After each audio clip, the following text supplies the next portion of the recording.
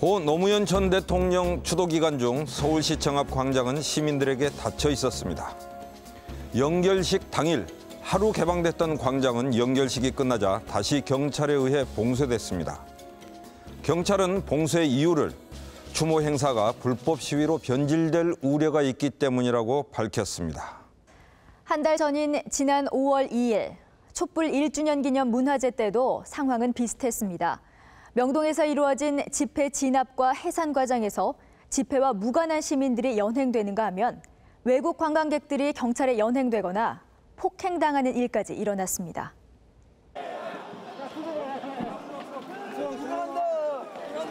지난 5월 2일 경찰 33개 중대가 명동 쇼핑몰 골목을 에워쌌다.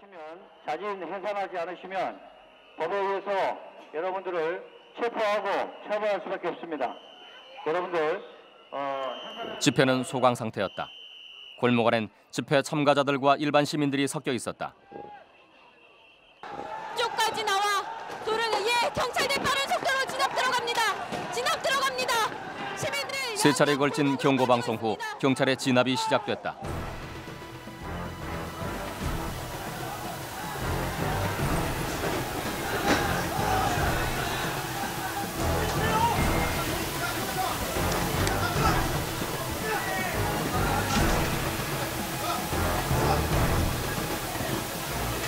남대문 경찰서 경비과장의 해산 경고 방송. 예 다시금 경찰이 계단 위로 밀어 올라오고 있습니다. 상가 계단으로 피하거나 구경하던 이들도 경찰에 연행됐다. 이날 명동은 연휴를 맞아 일반 시민들과 외국인 관광객들로 붐볐다. 시위대와의 구별은 쉽지 않았다.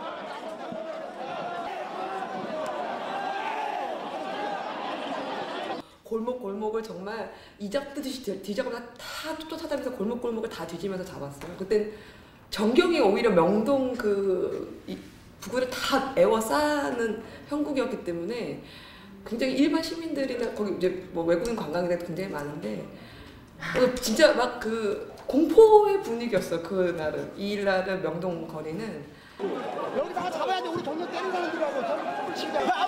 왜 그러는 거야? 와. 밤 10시쯤 시작된 경찰의 시위 진압은 1시간가량 이어졌다.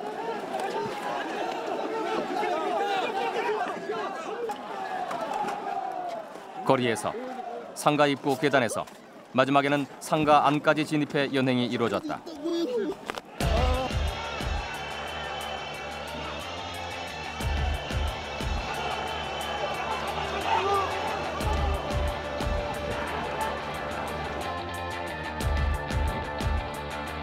4천여 명의 경찰이 명동 거리를 점령했다. 담화문이 발표됐다고 합니다.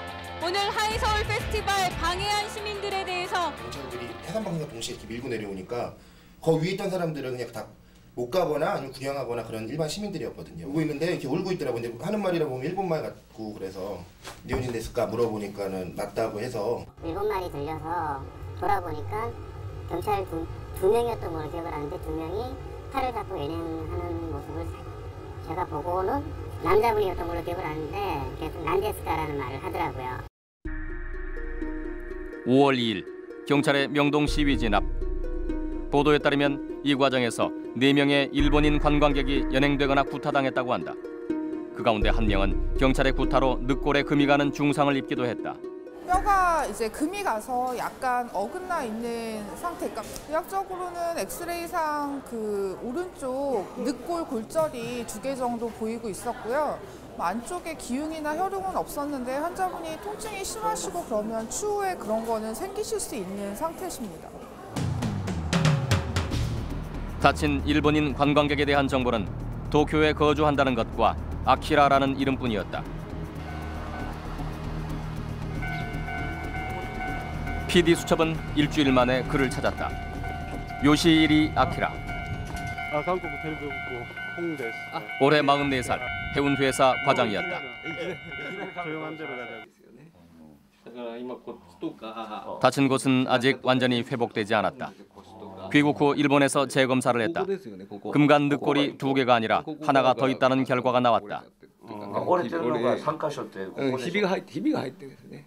今結構良くなりました？そうですね。だからかなりもう痛みは引いたんで良くなったんで。ただ刻した時はもう痛くて階段降りれなかったですよ。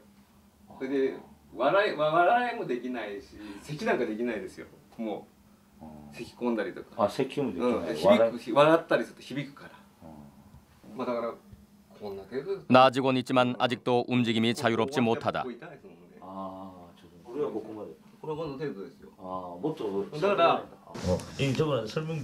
한국 병원에서는 입원을 권유했다. 하지만 휴가가 끝나면 출근을 해야 했고 결국 그는 귀국할 수밖에 없었다.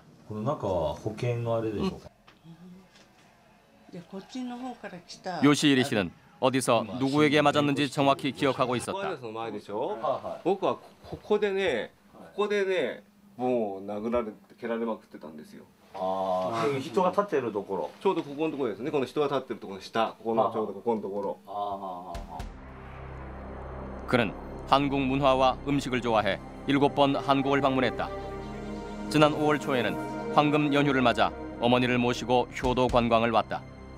명동에 있는 단골 고깃집을 찾아가다가 길 한복판에서 폭면을 당한 것이다.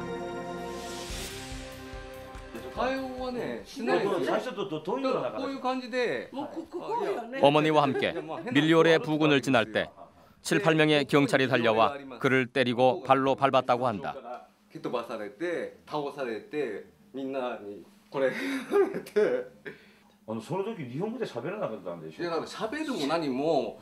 蹴飛ばされて倒されてみんなにこれやられてあのその時日本語で喋らなかったんでしょいやだから喋るも何も聞かないのよもう言わさず言うも言わさずですよだからいきなり普通に歩ってるようなところを後ろからもう蹴飛ばされた感じなんで私も結構ね日本人よって言ったんですけどね日本人よって言ったの日本人だって言ったんですけど聞こえないんでしょあれあのヘルメットかぶってわわやってるとこだから、うん、 아, 아, 아. 그는 일본 운전면허증을 제시한 후 풀려났다.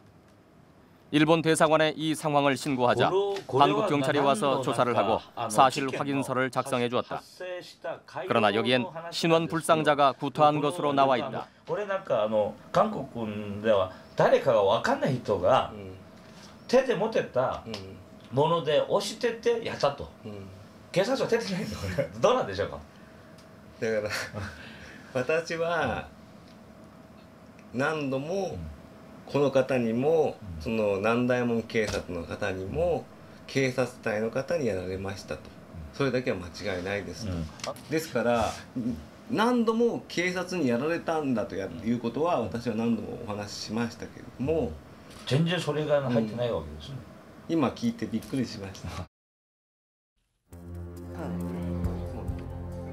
요시이리 씨는 자신을 구타한 경찰과 책임자를 찾아달라는 뜻을 분명히 밝혔다고 한다.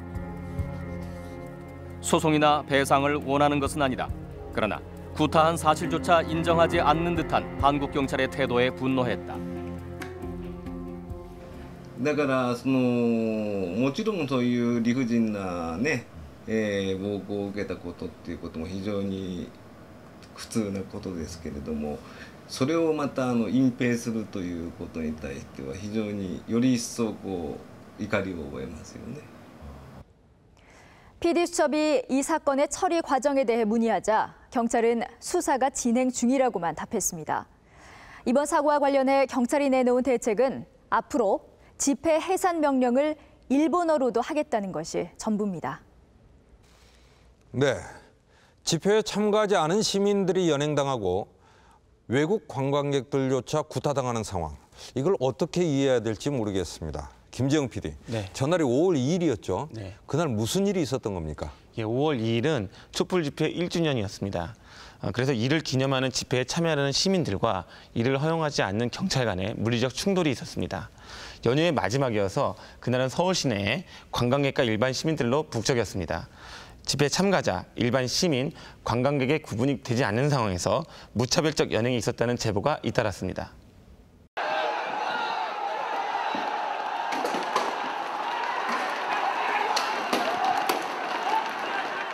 오월 2일 밤 10시 명동거리는 4천여 명의 경찰로 뒤덮였다. 경찰의 시위 진압과 연행은 11시까지 이어졌다. 외국인 관광객이 잡히고 구타당할 만큼 무차별적으로 진행됐다.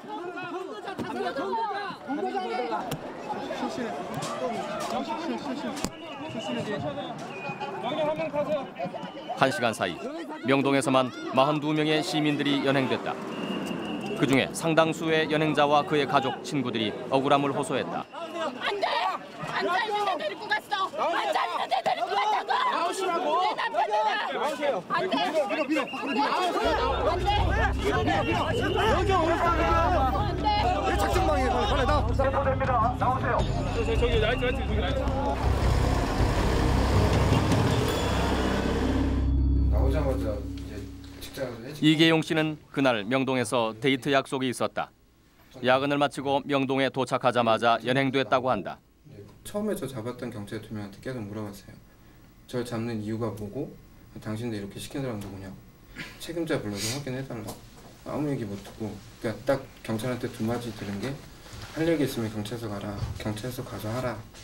어, 일단 타고 봐라. 아니 나 집에 간다고 왜? 왜요? 그가 연행되는 장면은 카메라에도 잡혔다.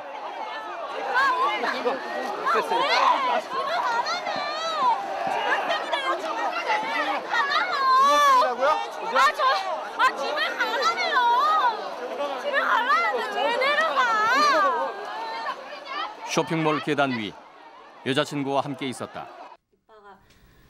그러니까 뭐 명동에 언제 도착을 했고 이런 거를 증명을 해달라고 연락을 하더라고요. 그래서 핸드폰 들고 오시라고 확인을 해달라고. 그래서 가서 다 보여드렸어요.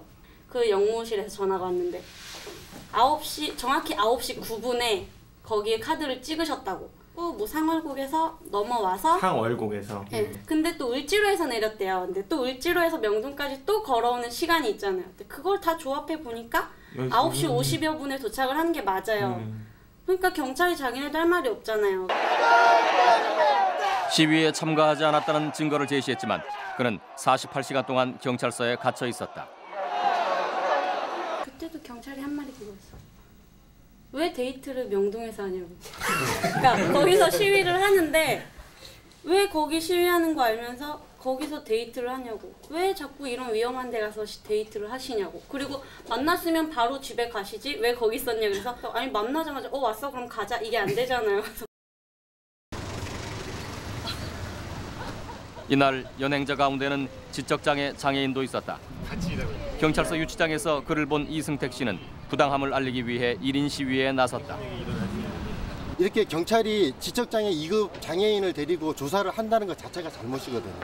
그것도 분명히 장애인증을 보여줬는데도 경찰이 계속 이렇게 유도신문을 하는 거죠. 너, 너 나오지 않았냐? 어?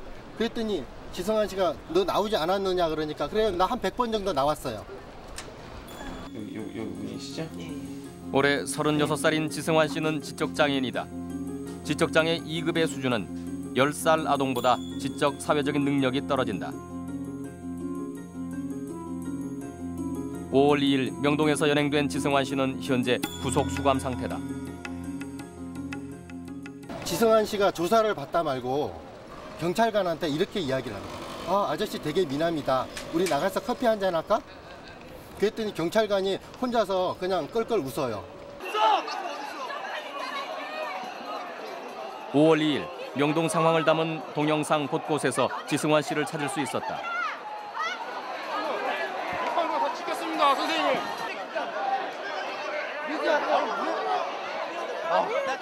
그는 왜 연행됐을까? 경찰들이 막 무작위로 체포를 해가니까 옆에 서가지고 왜 시민들을 아무 이유도 없이 이렇게 잡아가느냐 그 말을 했을 뿐이랍니다. 그런데 경찰이 힐끗 쳐다보더니 집행비 시에 관한 법률 위반 등으로 뭐 어, 현행범으로 체포합니다. 그래서 체포된 거라고 하더라고요. 상가 계단 위 연행하는 경찰을 잡고 뭔가 하소연하는 그의 모습이 카메라에 잡혔다. 연행자 발생! 그 직후 지승환 씨는 연행됐고 구속됐다.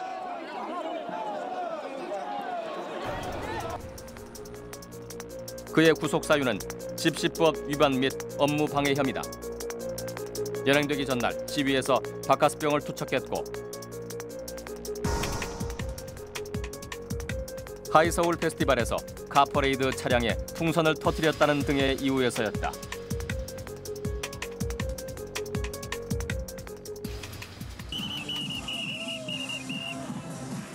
당시 촬영된 화면을 보면 카퍼레이드 차량에 풍선을 터뜨린 사람은 그가 아니었다. 담당 경찰은 문제가 없다는 입장이었다. 장애인이가 장애 알고는 차등등도 하나도 없고 정확하게 장애인 거 알고 다 거기서 다 조사해서 다. 근데 이런 경우는 보통 법당식, 제가 가진 상식으로는 후방 교체했던 거 아닌가요? 그건 모르겠어요. 금방 안 오고 결정권이가 그냥 수사만 경찰에서 수사를 하고 5월 2일 명동 연행자 가운데는 미성년자 3명이 포함돼 있었다. 안경을 썼네요, 이날. 예. 안경을 썼고 여경이 이제 잡고 있는 거고. 예. 올해 고1인 유현주 학생도 명동에서 경찰에 붙잡혔다. 버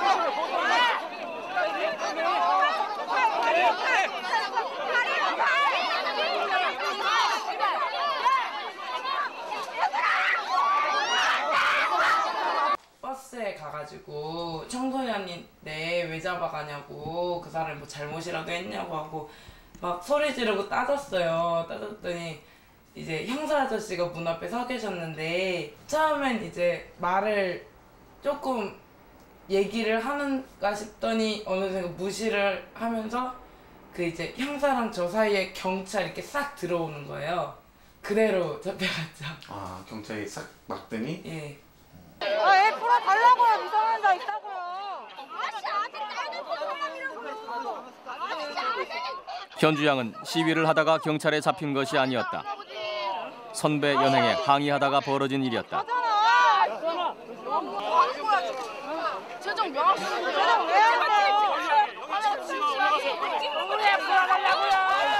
항의 모습을 경찰이 카메라로 체증하면서 시비가 붙었다. 현주가 카메라를 치자 체포하라는 명령이 떨어졌다. 여경들이 연행하려고 그랬는데 안 되니까 결국에 남자 전경들이 여기 목덜미를 잡고 끌더라고요. 그래서 끌려갔어요. 그때 이제 끌려가면서 혹시 학생이라고 얘기를 했어요? 예 했죠. 전부터 계속 얘기했는데 무시하고 그냥 데려가더라고요. 어, 학생이라고 얘기했는데. 웃던데요. 비웃었어요. 여경들이 있는데 이제 뒤에서 그 이 화면을 보면 알지만 사, 그 손이 하나 들어가서 딱 잡은 게 있어요. 그 장면이. 아까 목덜미 잡았다는 그- 예예예. 예, 근데 그 손이 남자 손이라 그러더라고요. 그래서 마음이 좀 딸은 경찰서 유치장에 이틀을 갇혀 있었다. 제가 볼 때는 큰 잘못이 있는 학생은 아니었걸랑요. 아무리 제 딸이지만. 그럼 하룻밤 정도 재우고 좀 달래서 다음에 이러지 마라. 아니면은 다음에는 뭐 시위원장이 혹시 저기 하더라도 그런데 그 가담하고 그러지 마라. 좋게 얘기해서 보내는 게 좀 원칙이라고 나는 생각을 하고 있었어요. 근데 이틀 밤을 꼬박 저기 하고 나오니까 좀 화도 나고 그래서 뭐 그분들도 자식이 있는 사람이니까 좀 약간 화가 나서 약간 격한 일을 좀 했죠. 땀은 뭐랍니까? 예? 그분들이 그 공권력을 갖고 계신 분들인데 나라라는 거에 갖고 있던 환상이 깨졌다고 할까요? 되게 나라라면 정말 국민들 목소리를 귀담아 듣고 정말 국민들을 위해서 있는 나라고 솔직히 국민 한 명한 명이 있어야 나라가 되는 거잖아요. 그러니까 진짜 국민 한 명 한 명이 모두 나라인데 진짜 저렇게 말도 안 듣고 물대포 쏘고 그러는 거 보면서 실망 여- 연행도 하고. 예. 네. 방금 화면을 보면은 그냥 구경하다가 또 연행하는 것에 대해서 항의하다가 붙잡혀간 사람들이 있단 말이죠. 여기에 대해서 경찰은 뭐라고 이야기합니까? PD수첩은 여러 차례 경찰 측에 취재 요청을 했습니다만 경찰은 취재에 응하지 않는다는 것이 원칙이라고 밝혔습니다. 응하지 않는 것이 원칙이다. 네, 맞습니다. 네. 최근에 경찰이 집회나 시위에 대응할 때 어, 과도하게 공권력을 행사한다. 즉 공권력의 과잉이다. 이런 지적이 있지 않습니까? 예, 그런 지적이 있습니다. 특히 노동절이었던 5월 1일 경찰은 지하철 역사 안까지 진입해 입구를 봉쇄하고 집회에 참가하려는 시민들을 향해 곤봉 세례를 가했다는 의혹이 제기됐습니다. 인터넷상에서 일명 사무라이 조 진압이라고 알려진 이 사건을 취재했습니다. 힘차게. 지난 5월 1일 여의도에서 노동절 행사가 열렸다. 작년까지만 해도 시내 중심에서 개최할 수 있었지만 올해는 도심 집회 신청이 모두 불허됐다. 행사 후 참가자들은 지하철을 타고 시내로 이동했다. 지하철은 시청역을 무정차 통과했고 시청역 입구는 모두 봉쇄됐다. 역사 안에 갇힌 시민들의 항의가 빗발쳤다. 순수하게 순수하게 지하철을 이용하는 사람은 이용하게 출구를 하나를 열어가지고 그쪽으로 이용하게 해달라고 해가지고 그렇게 하기로 했어요. 그랬는데 경찰에서 선별할 수가 없다면서 막은 겁니다. 어떻게 뭐 해결을 보셔야 되는 거 아닌가요? 완전 감금된 상태인데. 해결을 볼 수 있는 방법이 그래서 제가 어제 방송을 해가지고 경찰 관계자 와라 해가지고 전화 통화를 방금 했걸랑요. 네네. 안 된답니다. 그러면 한마디로 계속 지금 여기에 경찰들이 10분 정도 갇혀 있던 시민들이 장애인용 엘리베이터를 이용해 간신히 지상으로 올라왔다.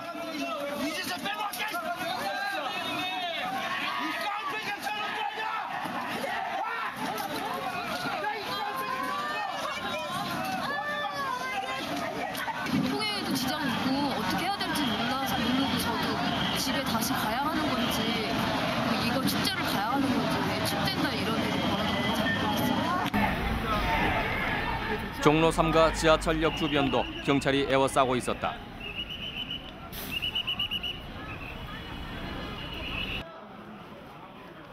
경찰은 지하철 역사 안까지 진입해 일부 출입구를 완전히 막아섰다.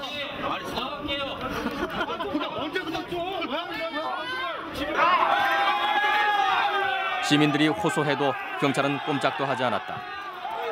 성난 시민들이 밀고 올라가려 하자 경찰은 곤봉을 휘두르며 저지했다.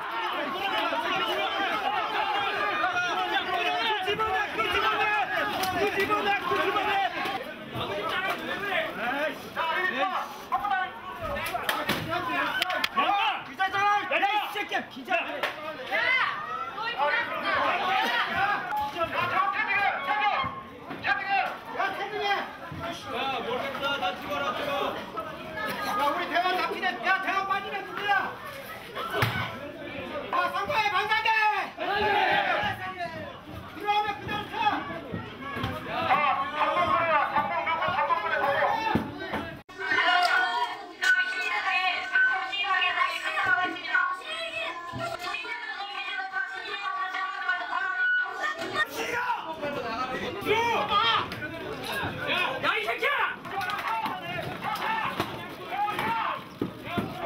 물러서지 않는 경찰과 나가려는 시민들. 팽팽한 신경전이 이어졌다.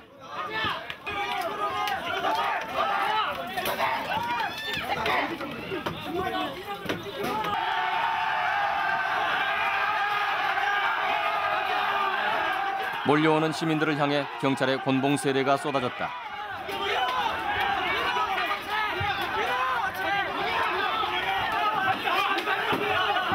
간부로 보이는 경찰 한 명은 긴 장봉을 휘두르며 시민들을 쫓았다.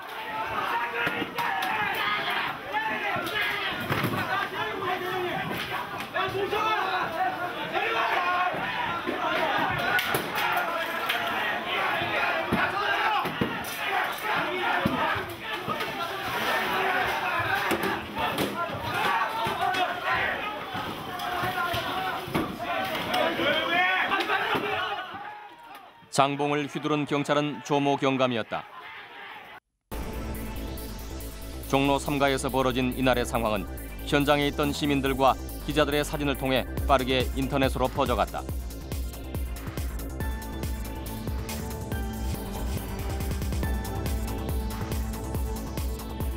조 경감에게는 사무라이 조라는 별명까지 붙여졌다. 경찰은 이쪽에 있었고 그날 취재를 하던 김철수 기자는 조 경감이 휘두른 장봉에 맞았다. 그러다가 그 위치에서 어디를 맞으셨어요? 제가 여기를 거죠. 아, 요 허벅다리를. 그는 며칠 동안 심한 멍과 붓기로 고생을 했다고 한다. 역시 나갔다 생각했어요. 흥분해서. 이 어린 친구들이 그 흥분해서 다 그러고 나가면 자제시키고 이걸 해야 할 시민들이 사실 간부이고 근데 이제 스스로가 흥분해서 나가면 나중에는 이, 대, 이 중대잖아요. 이 중대원들은 과연 나중에 어떻게 됐겠냐. 내가 그만큼 했는데 너희들은 더 해라. 이렇게 할 수 있는 거예요. 조 경감은 한 언론과의 인터뷰에서 자신의 행동은 시위대를 몰아내기 위한 방어 차원의 행위라고 주장했다. 조경감의 부대원들이 휘두른 곤봉에 심각한 부상을 입은 사람도 있었다. 지난주에 그몇 바늘 정도 꿰매신 거예요? 김지환 씨는 경찰 곤봉에 맞아 머리에 상처를 입고 일곱 바늘을 꿰맸다. 상처입니까? 조장 경감한테 맞은 건 아니고요. 그 바로 뒤에 또 다른 간부가 있었어요. 이거 짧은 그 곤봉이라고 하죠. 그거로 이제 머리를 맞아가지고 그래서 맞으면서 여기가 찢어지고 저는 순간적으로 기절해가지고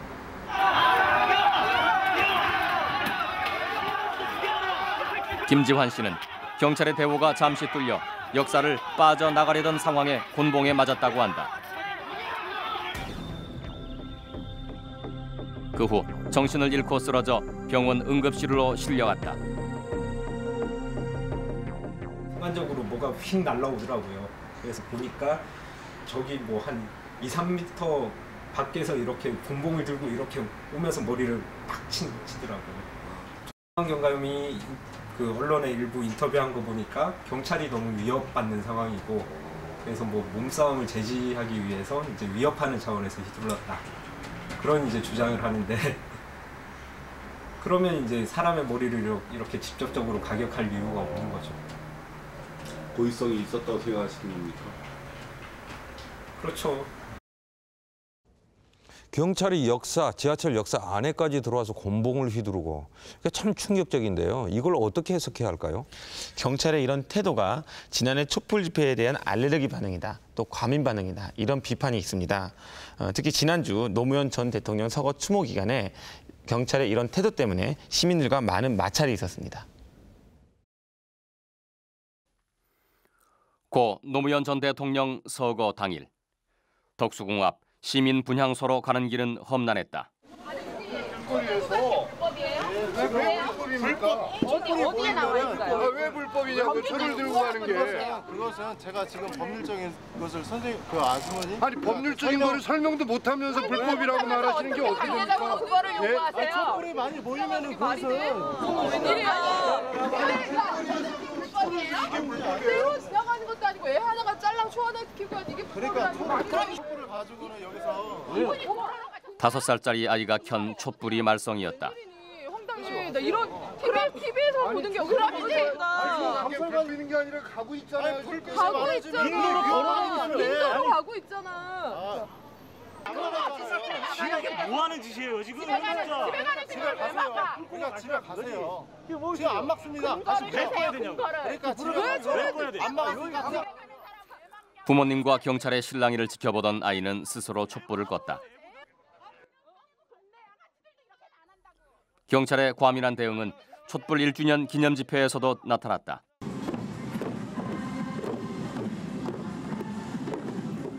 하이 서울 페스티벌 개막식이 열렸지만 경찰은 행사 보호보다는 촛불 집회 참가자 차단에 집중했다. 36개 중대 4,300여 명의 경찰이 투입됐다. 저녁 7시 이후 경찰은 광화문 사거리를 막고 집회 참가자들을 몰았다. 남대문 앞도 경찰이 봉쇄했다. 결국 시위대는 하이서울 페스티벌 행렬과 섞인 채 시청 광장으로 향했다. 경찰이 광화문 사거리를 막고 있었어요. 그리고 경찰이 앞으로 그 남대문 방향으로 계속 쪼여오고 있었고 남대문 앞에 대한문 쪽에서 경찰이 또 광화문 쪽으로 쭉 오고 있었어요. 그러니까 하이서울 페스티벌 행진과 촛불 시위대가 엉킬 수밖에 없는 상황이 발생했고 그런 상황에서 시청 광장에 다 같이 들어간 거죠. 당시 시청 광장에서는 하이서울 페스티벌 개막식 리허설이 진행 중이었다. 저녁 8시 5분 불어난 촛불 집회 참가자들이 리허설 무대를 점거했다.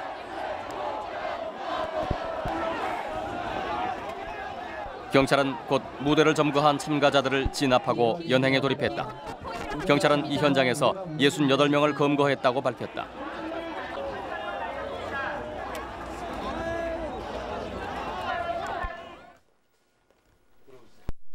(5월 1일) 시청 연행자 가운데는 시민학대 단원들도 있었다.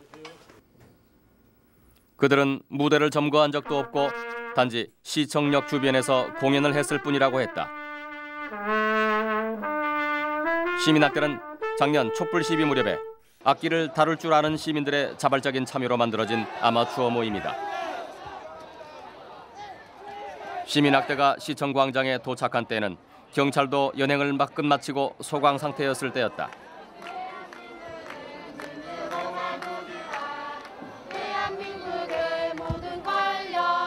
시청역 5번 출구 부근에서 촛불을 든 사람들이 모여 노래를 부르고 있었다. 시민학대는 그들과 어울려 연주를 하고 율동도 선보이며 흥을 돋웠다고 한다.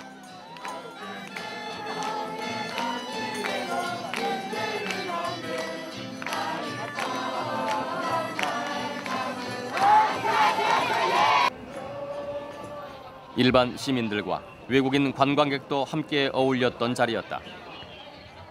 경찰의 특별한 제지는 없었다. 그러고 나서 두세 곡 부르다가 이제 마지막 산호라면을 부르고 나서 이제 갑자기 해산 방송도 없이 어떠한 방송도 없이 갑자기 체포조가 투입돼 가지고 춤추던 우리 신용 씨를 잡아간 거죠. 근데 잡으러 들어오는데 그냥 막 잡는 게 아니라 악기든 악, 몸을 검, 검색을 하더라고요. 그래서 악기가 없으면 가고 악기가 있으면 이제 잡아가는 겁니다. 예, 연주한 사람들을 잡아가려고 이제 또 얘기를 들었나 봐요.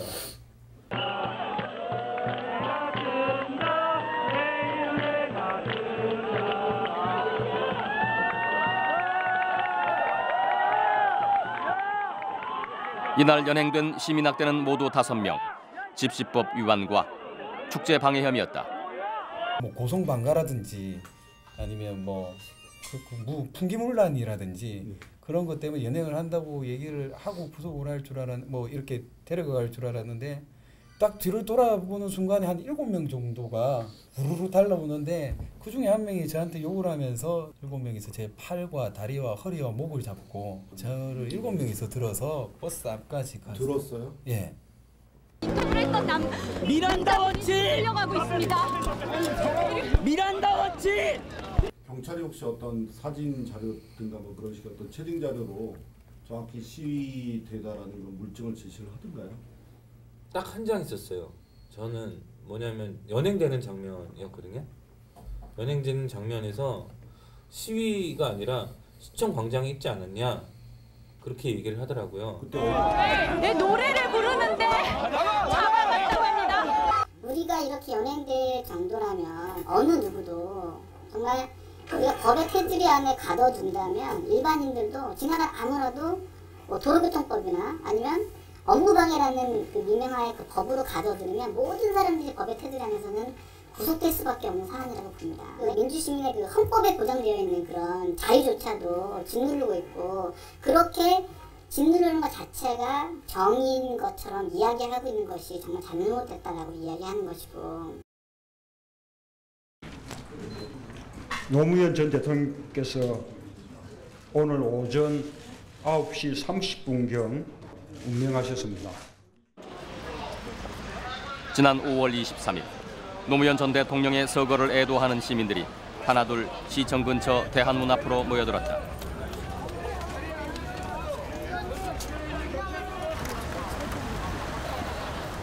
그날 경찰은 92개 중대 8천여 명의 병력을 동원해 시민 분향소 주변을 겹겹이 애워쌌다. 오후 4시쯤 간간히 빗줄기가 흩날렸다. 시민들이 세운 분향소 천막을 경찰이 걷어냈다.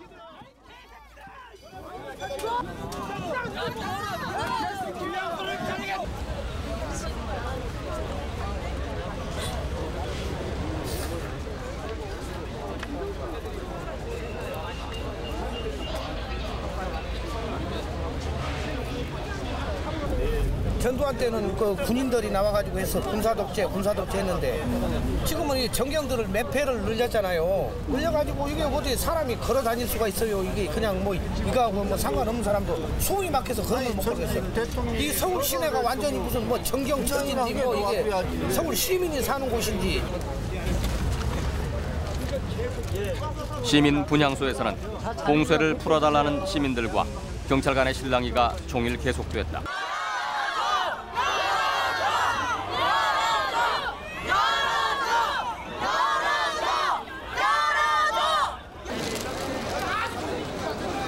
경찰의 장벽은 더 두터워져 갔다.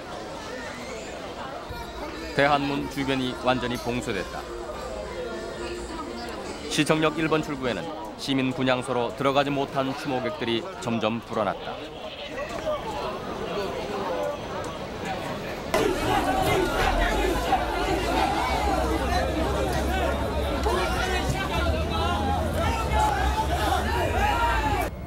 없어서 사러 나가려고 그러니까 그때 이미 나갈 수는 있는데 들어갈 수 없다 그러더라고요. 아니 왜냐면 저희가 그 MBC에서 뉴스를 분향소가 여기 있다고 봐- 보도를 했는데 못 들어오니까 시민들이 궁금해하더라고요. 왜 어떤 법률적 근거로 안내를 해드릴게요. 대한문 시민 분향소로 들어가지 못한 이들은 근처에 임시 분향소를 만들었다.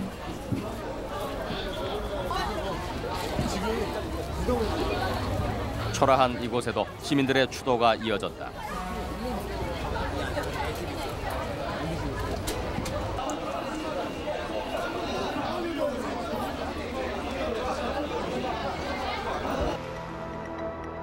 서울 경찰청장은 경찰 버스가 분향소를 막아주어 아늑하다는 사람도 있다고 말해 시민들의 분노를 자아냈다. 노무현 전 대통령의 추도 기간 동안 서울 시내에서 집회가 가능한 공간에는 어디든지 경찰이 먼저 들어서 있었다.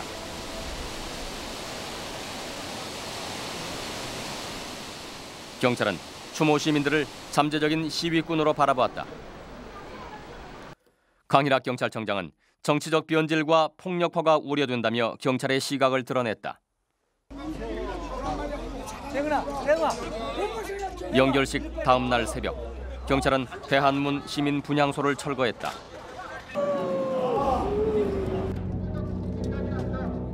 시민들의 항의에도 경찰은 철거를 강행했다. 이 과정에서 세명이 연행됐고 분향소가 심하게 훼손됐다.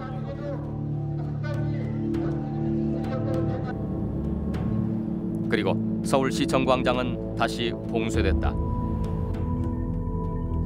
경찰청이 작성한 2009년 집회 시위 관리 지침을 보면 경찰의 강경 대응 이유를 알 수 있다. 방어적인 질서 유지에서 적극적인 법 집행으로 바꾸고 불어된 집회는 예상 장소를 선점해 집결을 무산시키라고 적혀 있다.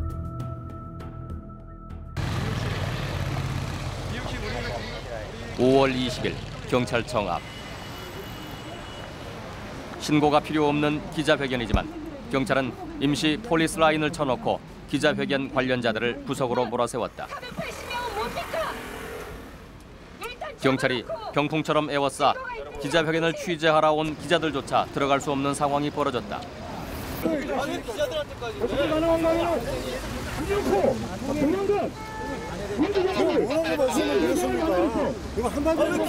기자들 나오라 그래요. 아 이렇게 막고 있으면 이 위치밖에 있을 수가 없잖아요 지금.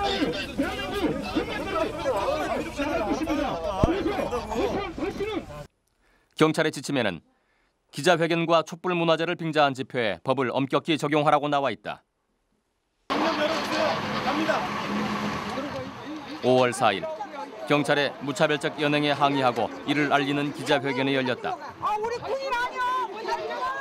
기자 숫자보다 훨씬 많은 경찰이 기자회견을 하려는 사람들을 에워쌌다. 하지만 이렇게 기자회견까지 경찰의 폭력으로 막은 것은 처음 있는 일입니다. 시민의 이동을 방해하는 것도 모자라서 자신의 알량한 공권력에 대항한다는 이유로 지금 명백하게 정치적 발언 계속하는 것은 명백하게 불법 지도입니다. 지침법 18조 20조 해가지고 서장님 명령을 받아서 경비과장이 2차 해산 명령을 2차 해산 명령을 하도록 하겠습니다. 지금 즉시 지금 즉시 해산하시지 않으면 3차 해산 후에 근거를 근거를 할- 하겠습니다. 네, 이것으로 정말 경찰의 기자회견을 마치고 참가자들이 해산을 하려는 순간 경찰이 행동을 시작했다. 자, 기자 여러분들 기자 여러분들 안전한 장소로 빠져주십시오. 정치적 발언을 했다는 이유 등으로 경찰은 이 기자회견을 불법 집회로 간주했다.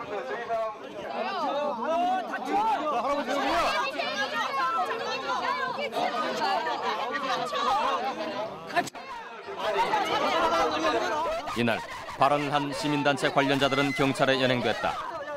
그리고 이들은 모두 48시간 동안 유치장에 갇혀 있었다.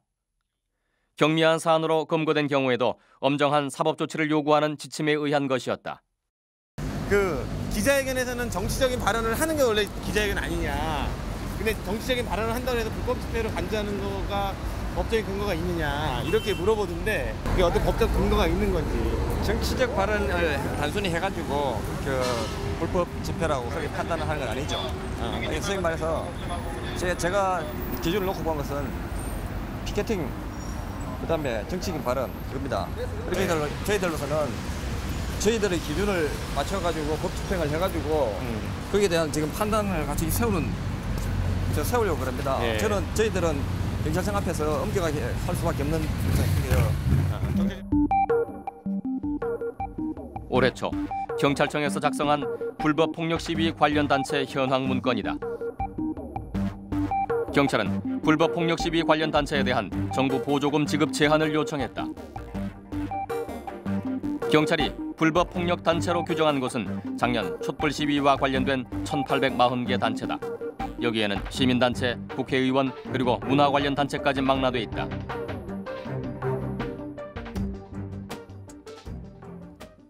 민주당 천정배 의원실이 경찰의 불법 단체에 들어갔다. 법무부 장관을 지낸 국회의원이 불법 폭력 단체 명단에 포함된 것이다.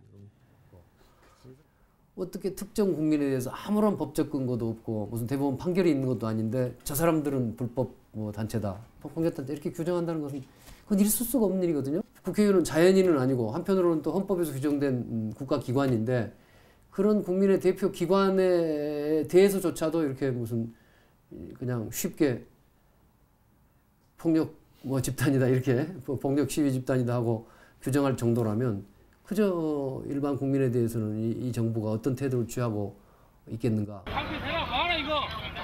경찰청 집회 시위 관리 지침이나 불법 단체 규정은 현장 진압 경찰의 태도에 직접적으로 영향을 미치고 있다.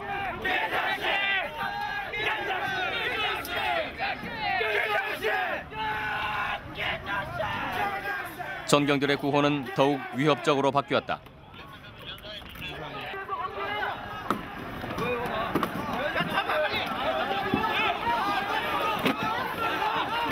불법으로 규정된 단체 집회는 원천 봉쇄하거나 강경하게 진압한다. 경찰은 해산을 유도하기보다는 시위자 검거에 더 열성적이다.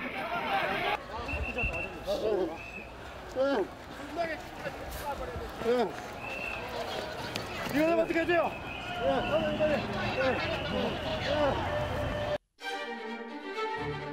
5월 1일, 2일 집회 상황을 종합한 경찰 내부 문건을 보면 더욱 명확해진다. 경찰은 노동절 집회를 도심 외곽으로 유도했다. 도심권 4개 집회는 신고를 해도 금지하는 조치를 취했다. 경찰의 목표는 집회에 참가한 좌파 세력을 발본 세관하는 것이라고 했다. 이 목적을 위해서 현장 검거 위주의 무관용 원칙을 반드시 실현하겠다고 밝히고 있다. 서울 시민의 편안한 삶을 누릴 권리가 방해되지 않도록 불법 행위에 대한 무관용 원칙을 더욱 엄정히 지킴으로써 5월 2일 시청 앞 엄마와 딸이 경찰 버스로 찾아왔다. 왜 그래? 저희 엄마 안 해요. 저희 엄마 혼냈어요. 하냐고요. 이렇게 하면 진짜 벌 받아. 진짜 이 예, 사람들 안 보여. 예, 저희가 아니, 우리가 그럼 예, 참석했으면 저희가 그냥 업무가. 너무 많아서 그래. 사람이 너무 많아서 죄송해요. 사람 잡아갔으면 보내줘야 될거 아니야. 예, 죄송해요. 이 얘기는 버리고 아, 못 간다고. 엄마와 어린 딸의 애원에도 경찰은 요지부동이었다.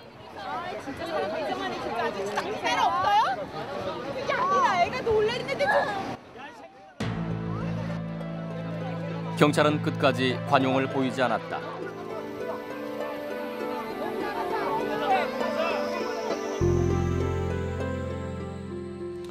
아빠를 돌려달라는 아이의 목소리가 참 간절하네요. 네, 그렇습니다. 정부는 여전히 불법 폭력 시위를 막기 위해서는 원천 봉쇄, 강경 진압이 불가피하다 이런 입장이죠. 그런 것 같습니다. 물론 불법 폭력 행위가 발생할 때 국가가 법을 집행하는 것은 시민의 안전을 위해 당연한 일입니다. 하지만 폭력 행위가 일어날지도 모른다. 불법 집회가 예상된다는 이유만으로 집회를 원천 봉쇄하는 것은 헌법에 보장된 집회의 자유를 침해하는 것이라고 볼 수 있습니다. 네, 김정 PD 수고했습니다. 아까 화면에서 보셨지만 진압 경찰들이 몰려가면서 외치는 구호는 시민들을 마치 적군으로 대하는 듯해 섬뜩하기까지 합니다. 민주주의는 시민을 골목으로 몰아넣는 것이 아니라 광장으로 나오도록 하는 것입니다. 그 광장에서 자유롭게 자신의 정치적 견해를 밝힐 수 있도록 해야 합니다. 봉쇄된 광장은 우리 사회의 민주주의의 위기를 보여주는 상징이 되고 말았습니다. 지난 5월 19일 PD수첩이 방송한 용산 수사 비공개 3천 쪽과 관련해 검찰은 비공개된 자료는 재판에 불필요한 수사 기록으로 재판에 필요한 증거 서류는 모두 열람, 등사를 허용했으며 검찰이 피고인들에게 불리한 증거만 공개하고 유리한 증거를 감춘다는 주장은 사실과 다르고 이미 사건 실체 파악에 필요한 자료를 변호인들이 가지고 있으므로 공정한 재판을 할 수 없다는 주장은 이치에 맞지 않는다는 반박 입장을 보내왔습니다. 오늘 PD수첩 여기에서 마치겠습니다. 감사합니다.